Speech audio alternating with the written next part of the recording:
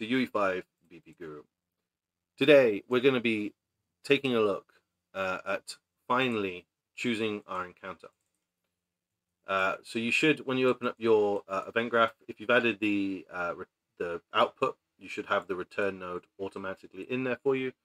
Um, now, what we're going to be doing is um, we're going to be finding a Pokemon. That, that's kind of the aim of today's episode, is to find the Pokemon we need. So to do that, we're going to need a few things. Um, the first thing we want to do is we're going to create a local variable. Uh, two of these are going to be uh, floats. So we'll add two in for floats, and then we need a third one that's going to be type name. We'll name these things as well. So for the first one, it's going to be sum of array. The next one is going to be the roll. And the third one is going to be um, chosen encounter. The first thing we want to do is take that sum of array and make sure it's empty. So very similar kind of process to what we've been doing before. We need that sum of arrays to be blank. That's what we need. Uh, the next thing we're going to add one more variable, but this is going to be a normal variable, and it's going to be, uh, it's going to, we're going to call it possible ring ringmon. We're also going to add this, by the way, I forgot to do this last episode, put that gender into the Pokemon info, um, and close that up, because we shouldn't need any more of that as well. Um, this possible ringmon, we're going to do that from our uh, F possible encounters that we made before. And we're going to drag it out. And then we're going to break it. Break that to show the possible encounters. But what we want to do is we want to um, set that as instance editable and expose on spawn. And the reason we want to do that is that if we click on our information here, if we we should be able to drop this down and we can now fill out that information with all the types of Pokemon. So if we said we want Bulbasaur, we want Charmander, and we also want Squirtle all to show up. And we're going to give ourselves a 0 0.3, 0.33 chance of those showing up. So there's a 1 in 3 chance you're going to get any one of the starters within this box. That's kind of what we're planning on doing with this. Um, and then we need to add that into a thing called values.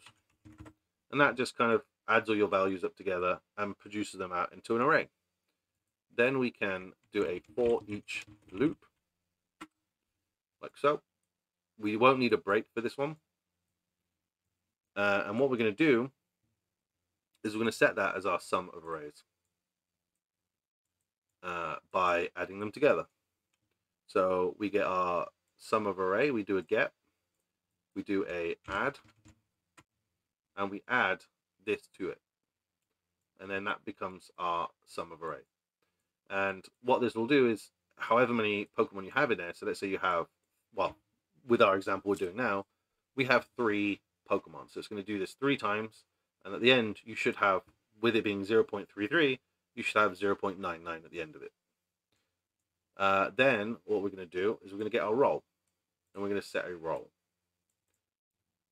And that is going to be a random float in range. And we're going to say it's from zero to whatever our sum of array is. So you could have, in all honesty, you could have it that each one represents one.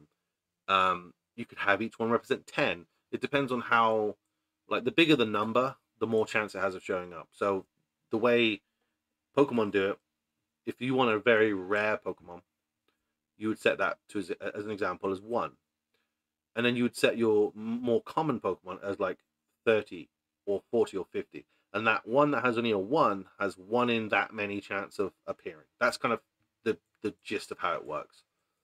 Uh, so once we've set our roll, we're going to re-copy this over here um, like so. And we're going to get the keys. We're going to plug that in. Like so. Uh, we're then going to run this through a for each loop. Like so. Now, the next bit can be a little bit complicated, but what we're going to do is we're going to take this and we're going to do a find. And the name is this one here. So this is kind of roughly how it's going to look. So what this is doing is we're getting the keys of this, so the three we have entered in there, the three names. We're running it through a for each loop and finding these. And we're going to see if our roll, so whatever this ended up being, so that zero between sum arrays, we're going to check to see if it's in this roll. And then we're going to see if that find is greater to or equal to this. Uh, other way around, sorry. So you need to make sure they're the right way around. So that one goes in there, that one goes in there. So the find is equal or greater to the roll. And then we're going to do a branch check here. We'll plug this in and plug that in there. Uh, and if it's true, if it comes back true, we're going to set that as our chosen encounter. Uh, also, this actually needs to be with a break. This one does need to be a for each loop with break. Uh, so just plug, just change this one around because we actually want to break once we've found something. So bring that back up. Okay, and then what we're going to do is if we found a chosen encounter, this one will become that chosen encounter. So let's just bring it down a little bit, just so it looks nice. There we go. And then we're going to whiz this one round to the break. Uh, let's get these all in position. There we go. Oh, Okay, and um, if it's false, we take our roll and we minus it, subtract it by this uh, find. So we take the roll, we minus the find, and then we set our roll again. And then we reset that roll. So that the next time it rolls, has a better chance of finding something different.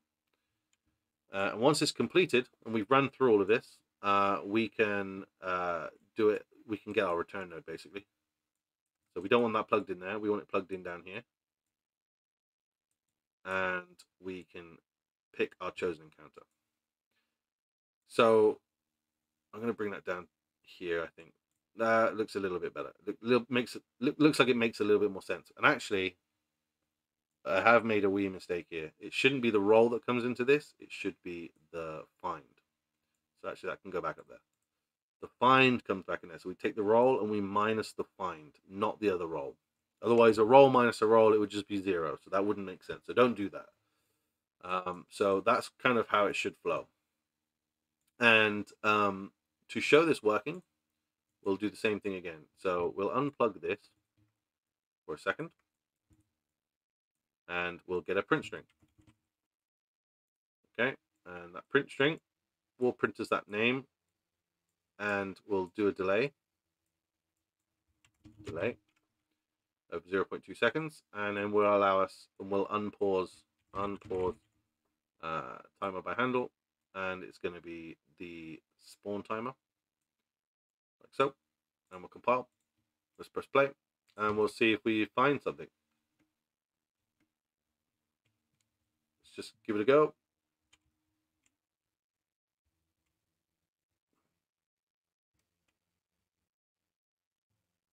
There we go. Charmander's been found. That took a while that time. Charmander. We've got Charmander. And got Charmander again. Okay. Please give me something other than Charmander. Charmander. Oh, God. Squirtle. There we go. We are finding some others. Um, see if we can find a Bulbasaur before we end this weird segment. Got a lot of Charm. There's Bulbasaur. So as you can see, we've got Bulbasaur, Charmander, and one of them appeared actually a little bit faster than the other because of the the times per roll. So we're getting all three of them. All three names are coming through, which is great. So we know that that's working. Now what will happen? This is where it's important that your data tables are set up correctly because that name will now go into here and we need to find it from this basic information another great way of testing that is literally just by saying, okay, I, I wish I hadn't deleted that other thing, but um, print string, and uh, we'll only get this if we uh, found something. So we want to actually print string that. Um, but I'm also going to get a second one to say if we failed, we didn't find the name, uh, no Pokemon found. Okay, so if that shows up, we know we have a naming issue. That's why we, we check this row not found as well. Because it's great if we start finding names, but if there's something we don't find, we need to make sure we know there's an issue. So that's why we do that. So again, it's just all about testing. I, I, I can't emphasize enough that testing is, is crucial for a game like this because anything can go wrong. So it's good to test as you go along. So we've got Squirtle. So we found Squirtle's information. Great. Um, what else are we going to get? Going to give us anything else? Charmander, maybe? Bulbasaur? Oh, I didn't unpause the timer. That's why. So we're going to have to run in and out for a second and, until we get another name. Squirtle again. Come out, go back in.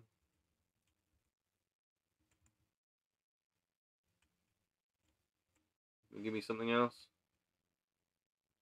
Let's just make sure we are definitely out of the box. Charmander, there we go. We got Charmander's information. And we go back in, we should hopefully get another one. Charmander again. Can we get Bulbasaur? I'd like a Bulbasaur. I mean, I want to know uh, if we get a row not found or a Bulbasaur, I'll be happy. I'll know. I'll know. We technically tried to find all three. Give me Bulbasaur. Come on. Give me Bulbasaur. Squirtle again. Okay. This game doesn't want to play ball, does it? Charmander. Oh my god. Come on.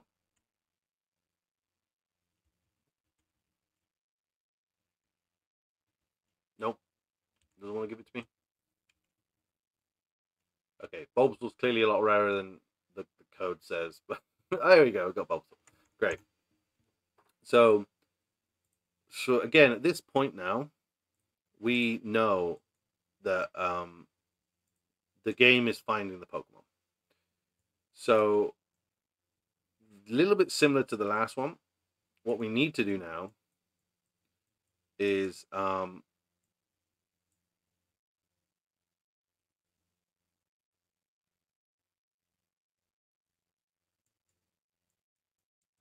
So what we need to do is start setting information. So we can delete that now and we can delete that. I'm pretty sure we don't even need to see that at this point. What I'm going to do is I'm going to set up the functions that we, we're going to need and then we're going to set that up in the next episode um, because I feel that will probably take a full episode to do, to be honest.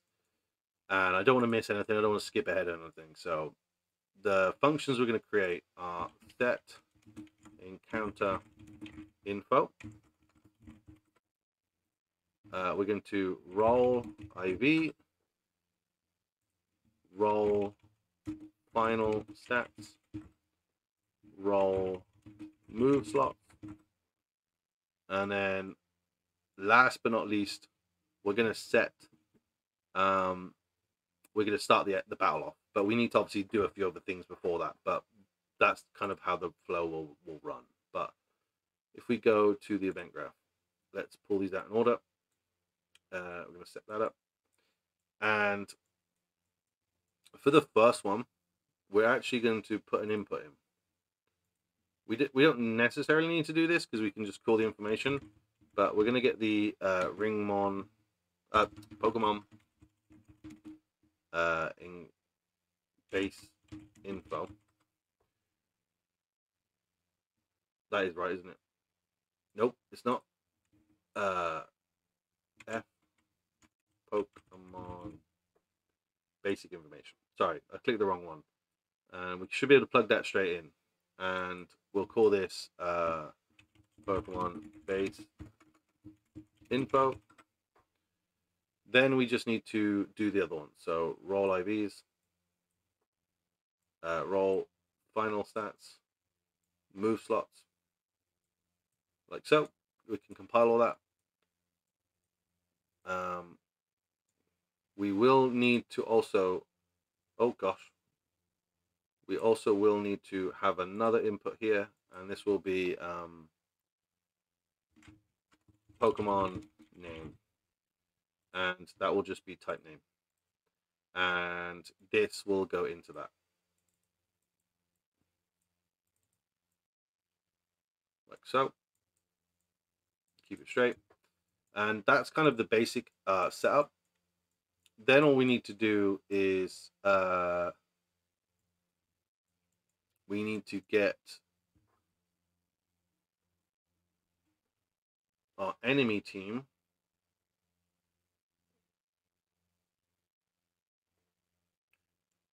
we need to also set up one more thing sorry set up a new variable uh, I keep saying Ringmon, it's Pokemon. We need to set up one single um, Pokemon party info. And we'll call this Encounter Pokemon. We're going to get this. We're also going to get the uh, enemy team. And we're going to add. And what we're adding is that this, and this will make sense, I'm sure. So we need to add this Pokemon to our team, uh, our enemy team. And to do that, basically this information will all feed into this encounter Pokemon and then it will add it to the team uh, right at the end. And then the last thing we'll need to do is call our battle start function, which we're going to create in a future episode. So the next episode is going to focus on setting up all these informations. And then the next episode after that will basically be setting up the battle world and all the other kind of cool things. Um, hopefully you found this useful. Uh, hopefully it's all making sense and flowing correctly. But obviously, if you have any questions, if you're a member at this point, ask in the member section. Uh, uh, I'll be more than happy to kind of talk you through things. And um, if you're watching this way down the line, we have a help section in the Discord as well for, for everyone else to utilize as well. So I'll be more than happy to talk you through it. Uh, but hopefully it's all making sense. But but my only thing I would say is test as you go. Don't wait until you've done all the code and then test because the likelihoods is, is it won't won't work. But as you saw me doing today, I tested the chosen encounter and then I also tested to make sure we were getting the right data row out as well. Uh, and also naming conventions, just make sure your names are case sensitive and correct for every Pokemon for every section. Otherwise, there'll be a missing link and it'll take you forever to find it. So just test as you go and just make sure you're getting it right first time. Otherwise, a game like this is, is very difficult. But thank you so much, guys, for watching. Uh, and I'll see you in the next episode. Much love. Take care. Bye.